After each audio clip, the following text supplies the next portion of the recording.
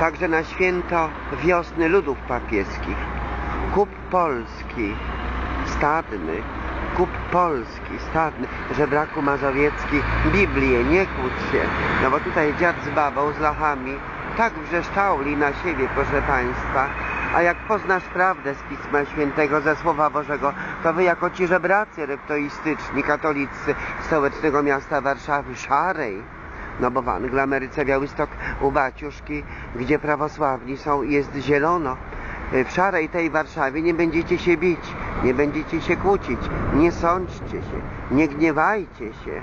Przed zachodem słońca niech zniknie gniew wasz, jak mówi Słowo Boże. To dowiecie się właśnie wtedy, kiedy kupicie Słowo, Słowo Boże. Po raz pierwszy Biblię za, y, zaczniecie czytać.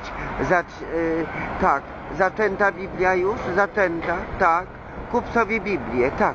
Kup po raz pierwszy Biblię. Zajrzyj po raz pierwszy do tej Biblii. Zajrzyj po raz pierwszy do tej Biblii. Zajrzyj do tej księgi. Po co macie cygano żydomałpogady się kłócić? Gdzie nie ma ani prawosławnych, ani mormonów, ani świadków Jehowy.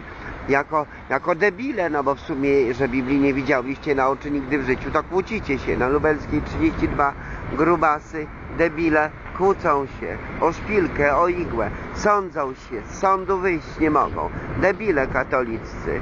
Także na swoje święto 21 dzisiaj mamy marca 2.14, mój kochany, żebraku katolicki, mazowiecki, polski i stadny. Kup sobie tę Biblię i możesz nawet pojechać do Anglo Ameryki, Białystok, tam spod Pałacu Kultury, który widać o 23.40